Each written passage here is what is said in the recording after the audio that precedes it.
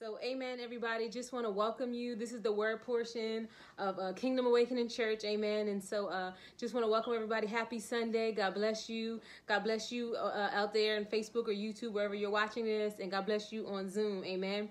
And so, uh, I'm Chandra Davis. My husband's Anthony Davis. And we'll just welcome you. This is the word portion of Kingdom Awakening Church. Amen. And so, today I'm just going to share with you what I feel like God has for me to share. And then I'm going to get on out of the way. Amen. And so, um, what, what we're gonna do is uh, I, I, I, what I feel like God is saying today is we're gonna talk about um, God is in the fire. Amen. It's so important that we understand that when we get thrown in fires, God is in the fire with us. I, I just wanted to reference Daniel 3, where it talks about the three Hebrew boys, Shadrach, Meshach, and Abednego.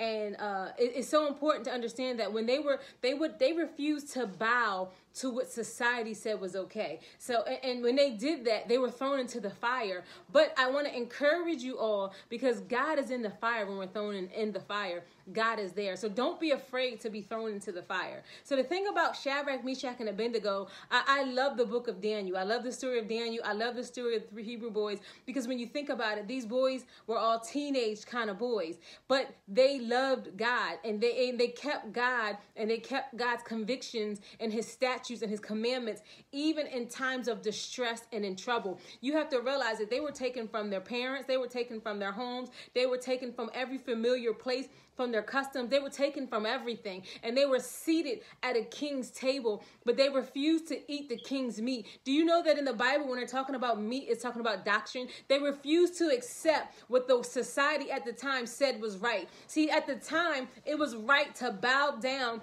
to to to the golden images and and to to to bow down to the king as God. But they said not so. We're going to choose to serve God no matter what. And so in this day and time I just come to encourage you uh man and woman of, of God. I come to encourage you that don't bow down to what society says is right. Listen what God says is right is right, and what God says is wrong is wrong. That's the bottom line.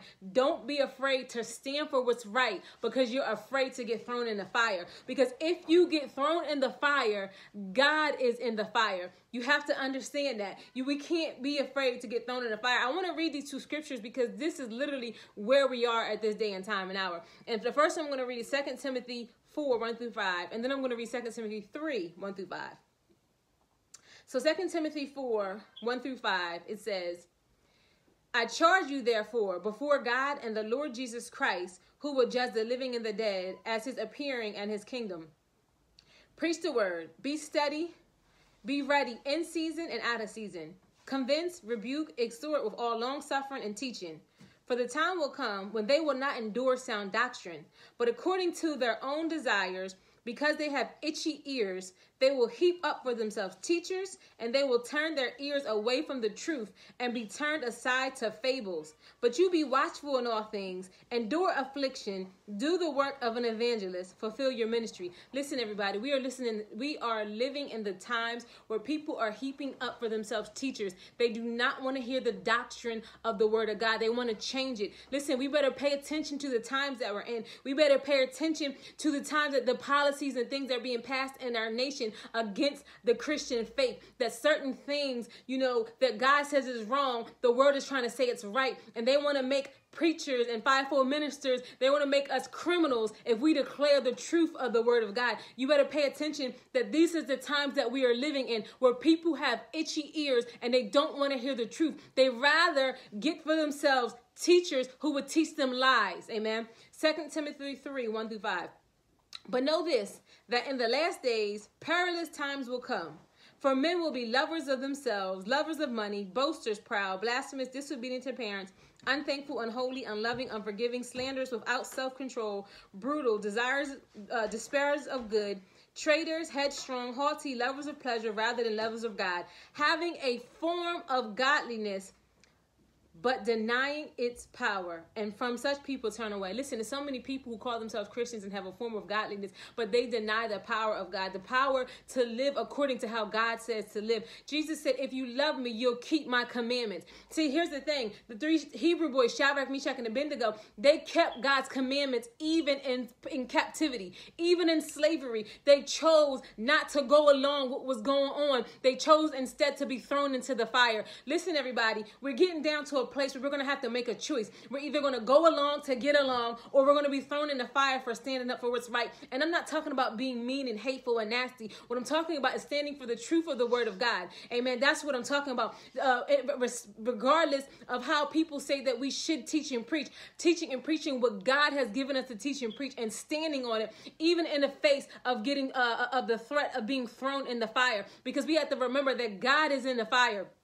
Listen, it's so important that we understand that oftentimes as believers, we go through struggles of oppression and depression and anxiety and fear and worry because our expectations are wrong. We expect the world to love us and we expect the world to accept us and be at ease and be at peace with us. We expect the leadership, the, the, the structured leadership of the church to do the same. But listen, this is what Jesus said. He said, They hated me and they persecuted me. They're going to hate you and they're going to persecute you. He was talking about the religious leaders. That's, listen, let me help you out. It's equivalent to the fivefold ministry and the structured church today. He said they didn't know me. And that's why they do it. That's why they hated me and persecuted me. As a believer, the world is going to hate you and persecute you. When you have wrong expectations, you are surprised. You you you you get caught off with oppression and depression because you think you're supposed to be accepted, you're supposed to be loved. We're supposed to be thrown in the fire because the fire authenticates our anointing. See, the three Hebrew boys, they would have said they're just being rebellious and they're just doing their own thing. But when they were thrown in that fire, when Jesus, when God showed up, their anointing was now authenticated. Listen, the king said, Nobody better speak a word of the God of Daniel. Nobody better speak a word of the God of Shadrach, Meshach, and Abednego because he's the most high God. God wants that here and now. While these policies, while these things are being are being pushed and being forced to, to be known as truth, it's okay. Society can bow, but as blood bought believers, we can't bow. It's better to be thrown in the fire because that's where God is. God is in the fire. It's better not to bow and go along to get along because God is not pleased with that. Amen. So I'm going to read the scripture, John 16, verses 1 through 3. These things I have spoken to you that you should not be made to stumble. They will put you out of the synagogues. Yes, the timing is coming that whoever kills you will think that they offer service to God. And these things they will do to you because they have not known the Father nor me. Listen, listen, listen, child of God. We have to change our expectations and understand that Jesus was persecuted and hated by the religious systems of the world. The religious systems of the world are going to hate and persecute us too. It, it should not be a surprising thing. Jesus said, I'm telling you this so that you won't stumble. So listen, and when you keep eating from the king's table, eating the king's doctrine, listening to the worldly wisdom and caring with the worldly wisdom, it gnaws you to sleep.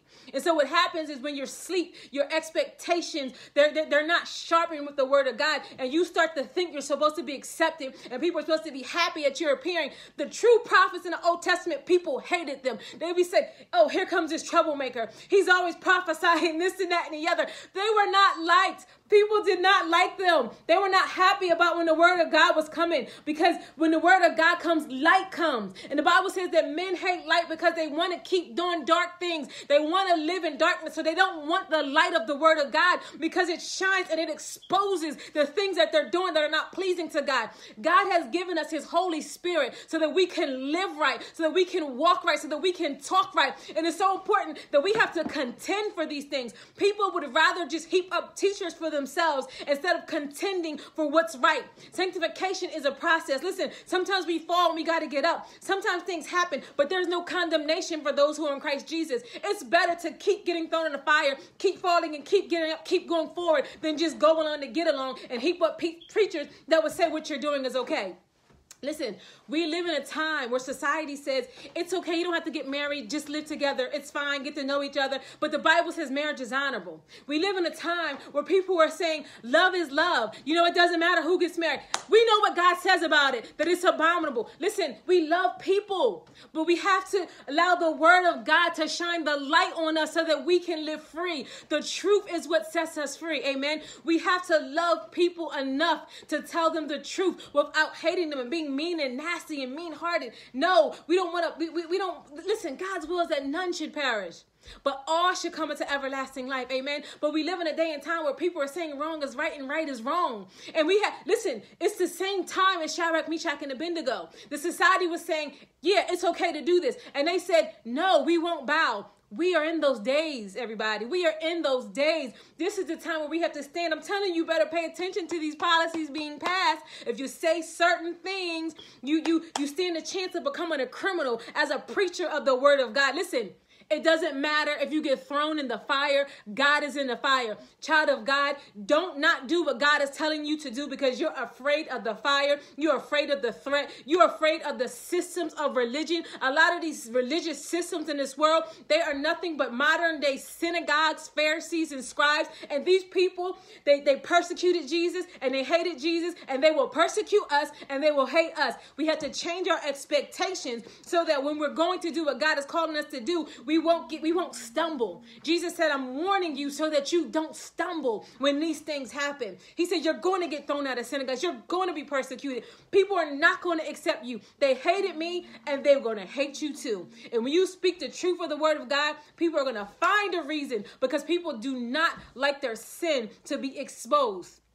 Amen. And so we, we have to understand that, you know, we have to be like Jesus. We have to follow, do, do what Jesus did. Jesus defeated death, hell, and the grave at the cross. We can defeat every enemy in our life. We have to understand that all war, warfare in the Old Testament was out in the land for the land. You could see the enemy, you could see the land. And the New Testament, it has shifted to the realm of the spirit. We have enemies. Listen, some of us are struggling with sloth. Some of us are struggling with addictions, with fear, with anxiety, with worry. These are things that we have to get aggressive and go after in the realm of the spirit. Matthew 11 and 12 says, Since the days of John the Baptist until now, the kingdom of heaven suffered violent, and violent men lay hold of it. Or the kingdom of heaven is forcefully advancing, and forceful men lay hold of it. We have to get aggressive in the spirit. We have to get aggressive in intercession and go after these things and not just get along to go along. The world says, Oh, let's let's let's do some anger management. Let's manage this. Let's let's, let's manage your anxiety. God said, Cast out anger, cast out fear. That's what causes anxiety. Some of this stuff can't be managed, it has to be cast out. We have to go back to the Word of God. We can't keep getting teachers who null us to sleep, who, who are eating from the king's table, who are taking these, these, these, these worldly wisdom that sounds good, but it's against the true Word of God. And the Word of God is what's going to set us free. The light, the Word is a lamp unto our feet and a light unto our path. Listen, sometimes we just have to say we missed it. Listen, I've missed it. We've all missed it. Listen, sometimes we have to repent and return back to our first works. Today is the day of the Lord. Today is the day of the Lord's favor. Listen, he said, Seek me while I may be found. Don't you know that if you just keep going, he said, God said, if you take a step toward me, I'll take a step toward you. God will be with us. Don't quit and don't just agree with worldly systems. Stop amen and agreeing with these teachers who are not speaking the true word of God. They're speaking what's at the king's table, which is gnawing us to sleep. It is time to wake up, child of God. The Bible says, listen, he said, Oh, captive daughter of Zion, for nothing you were sent into slavery, and for nothing you'll come out. If you just be- receive the word of God, the truth of the word of God, you'll come out of bondage in your mind. The way that they train the baby elephants is when they're babies, they, they, they put it they put a chain on them. Well, you know, nowadays circuses are not really supposed to have, but you know, when they had circuses and they were training the elephants, they put a chain around them. Um, they even heard that they do this with like in other countries when they use elephants as slaves. And so the elephant tries to pull that leg and he can't. So by the time the elephant get, gets bigger, it thinks it's stuck. Elephants are like over a ton, right? A lot of times, by the time the elephant becomes an adult, they break the chain off. So it's just like a little chain. If you ever went to circuses, you would see the elephant when they had elephants, just put a little chain on it because in its mind, it was still stuck. Although it could break any chain, and although it's no longer stuck in its mind, it was still stuck. So what happens is the enemy begins to attack us when we're young with, with all these hurts and pains and shames and all these different things, and we think we're stuck. And it's a trick. We are not stuck. It's like the baby elephant. When you become an adult, you can set yourself free when you receive the truth of the word of God. And this is why the enemy fights the word of God from coming forth. And this is why so many false teachers are coming up. And, and their goal is, is, is to derail people because just like these people, these religious leaders hated Jesus, these current religious leaders will hate us, will hate the remnant, the true seekers of God, those who are for the kingdom of God going forward. We're not interested in trying to build our own mega ministry or we're trying to build our name, but we're interested in the kingdom of God going forward. It's so important this is what God said. God said we need to wage war against that spirit of lethargy. Lethargy is a state of sleeping or deep unresponsiveness or un- inactivity. It's not about being busy and doing stuff, but it's about we all been commissioned. When you've accepted Jesus Christ as your Lord and Savior, we've been commissioned to do the Great Commission. And number one thing is make disciples. Amen. We have to make disciples, do the work of an evangelist. It's so important that we understand that we should be equipping the believers. And so many times we people fall in these religious systems where they have to sit and do this and do that, and people are not being equipped to handle the attacks that are coming against their life. The Bible says that the gates of hell shall not prevail against the church. We should not be walking in, in, in lack. We should not be walking in poverty. We should not be walking in, in, in beneath our means. But so many times people are because they're not equipped to be able to use the keys of the kingdom that Jesus died on the cross for us to have the keys to the kingdom to bind and to loose. People don't understand that we've been given power and authority over scorpions and over snakes and over all the power of the enemy. But because they don't know how to use that power, they're walking beneath their means and it doesn't have to be so. And it's because the preachers are eating from the king's table and they're knowing the people to sleep instead of awaking them. Woe to the preachers who are not awakening God's people in this hour. Woe to the people who are bowing down to what society is saying right in this hour and ignoring what God says is wrong in this hour. Listen, I want to encourage you. We can always repent. God is faithful and He's just. He said if we miss it, we can confess our sins. And He's faithful and He's just to forgive us and cleanse us of all unrighteousness. If you've missed it, if you've gone along with something that you know you shouldn't have gone along, just repent. Turn around and go back to your first works. It's so important that we don't be afraid of the backlash. And oftentimes we also get persecuted and hated by our own family. But Jesus also warned us of this. He said, listen, families will be divided. It'll be two against three, three against two. They won't, y'all won't believe the same things. Guess what? It's okay. Let your family throw you in the fire.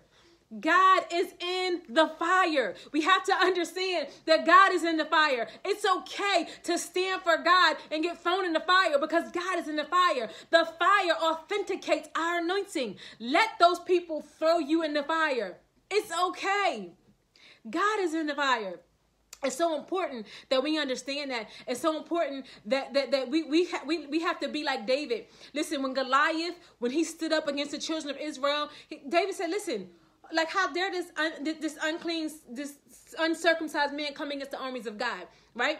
So here's the thing God gave us the armor so we can stand. So we have to stand. But sometimes what standing looks like is charging to the battle. See, David charged to the battle. After he knocked him down, he took off his, he took his own sword and he cut his head off. Some stuff we have to cut off at the root. Do you understand? We can't just knock it down and think we're good because later on in life, it'll, we'll have to deal with that same stuff. We have to go and we have to cut it at the roots. Do you understand? Sometimes standing our ground looks like charging to the battle. We can't run away from the battle. Sometimes we have to run to the battle, knowing that when we signed on, we signed on to be uh, to com- be commissioned as soldiers. That's why we have armor. Jesus Christ died for us to be free. He died for us to be whole. He died for us to be healthy. He does not want a weak people who will easily give up what he died for us to have. We have to understand that God is in the fire. We can't be afraid to stand for truth because of the threat of the backlash of being thrown in the fire. Listen, y'all, we are living in evil days. These are perilous times. These are perilous times. Listen, the love of many are waxing cold. We have to understand, don't lose your love. Do you understand? You have to continue to look into the hills from which come up your help. Your help comes from the Lord. Don't focus on people doing negative things. Focus on God. Are you willing to die for what you believe? We're coming down to those days, everybody. Are you willing to go to jail for what you believe? Are you willing to be fined for what you believe? Because this is what's happening. You know, they're saying, well, if you speak this, if you speak that, y'all better pay attention to your Bibles. They're changing the translations. You better get some some some physical Bibles. They're changing words. They're changing translations. They're changing things. You better pay attention. Don't be afraid, child of God, to be thrown into the fire because God is in the fire. That's where your authenticity will come from when you get thrown in that fire. Because then the, the people who threw you in the fire, when they see that you're not burned, when they see that you're not affected, they're going to have to call you out. And they're going to have to acknowledge your God as the most high God. Because you have to remember that there is a God of this world. And he's the one that comes up with all these society norms, all the society norms that say wrong is right and right is wrong. And everyone just getting going along because we don't want to hurt anyone's feelings. We want to be politically correct. Don't be afraid to do what God is calling you to do because you're afraid of the backlash. You're afraid of the warfare. You're afraid of the fire, the fire of the warfare. God is in the warfare. God is in the fire. God is on your side. Amen. And so it's so important that we uh, understand that Jesus was is the champion of heaven. He defeated death, hell, and the grave. And he said, "Listen, I hold all power." And then he threw it to us. So he said, "What I do, you will do." He said, and "You'll do greater because I go to the Father." We have the Spirit of God. We don't need any man to teach us. And this is not a, a ploy for all the renegade lone soldiers, because God said we're jointly fit together. He didn't put us to go, go at life alone and do what we want to do. There's always balance. I always have to say that because some people take stuff to the left, but you have to understand is sometimes fear will act like wisdom when it's really just fear.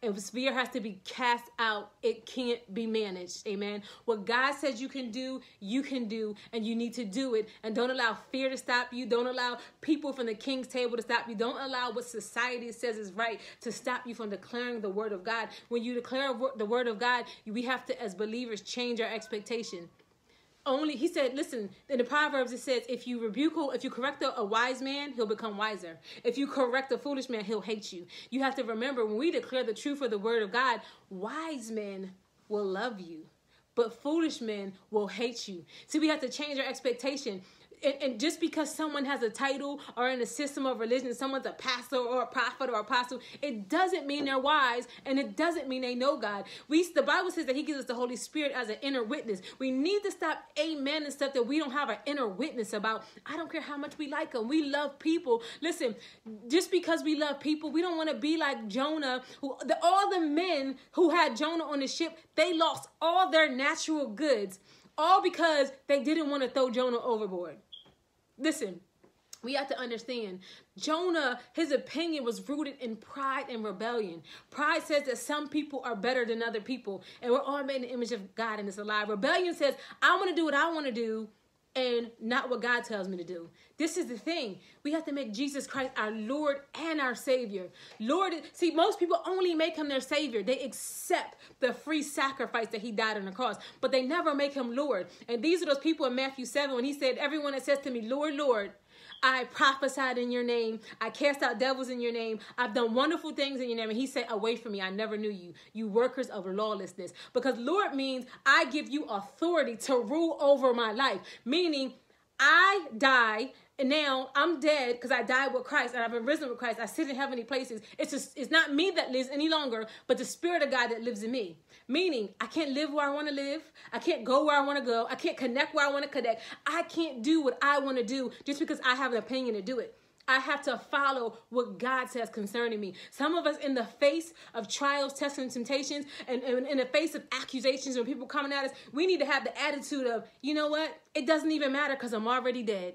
You can't kill me because I'm already dead. Do you understand what I'm saying? We've already died with Christ and we were resurrected with Christ, and now we're seated in heavenly places. It all comes down to do you believe it? Are you fully persuaded? Are you fully persuaded? Are you willing to die for your faith? Listen, if you're not, then then you don't have Jesus. Jesus, listen, was it Luke 9 23, the qualifications of being a disciple? He said, deny yourself, pick up your cross daily, and follow me. If you can't deny what you want in life, then you can't be a disciple. What uh, what they said, Kathryn Kuhlman, uh, she said, What is it gonna cost you to follow Jesus? She said, It's gonna cost you everything.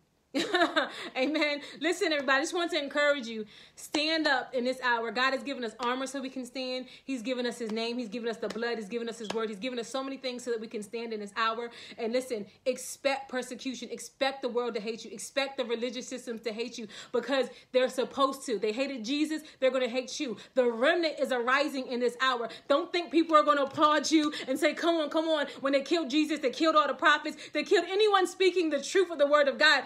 Don't expect that you're going to get a, a, hand clap. If you're getting a hand clap, you should question what you're saying and what you're doing by the religious system, leaders of the religious systems in this world. I just want to encourage you today. Stand on what God is telling you to do. We don't we, listen. The Spirit of God will lead us and guide us in all truth. Do what God is calling you to do. Connect with who God is connecting you to, calling you to connect with. Disconnect from who God is calling you to disconnect with. Listen, we can love people and we can still do what God is calling us to do. And don't be afraid of getting thrown in the fire because God is in the fire and He's going to authenticate your anointing in the fire, where it's going to shut the mouths of every naysayer, every accuser because when they see that they put you in the fire and that the fire didn't burn you, you came out with no burns. you know, some, I, I saw this meme. and I thought it was so funny. He said, "I would be mad too because they threw dirt on my name and flowers grew." Listen, people don't understand that we're seeds. So when you when people try to bury you, flowers grow. We bloom because we are seeds. I want to encourage you, child of God, get a right perspective and a right expectation for who you are in God don't be afraid of standing on truth. Just get thrown in the fire because that's where your anointing will be authenticated in the fire. Amen. God bless you, Facebook. We are signing off.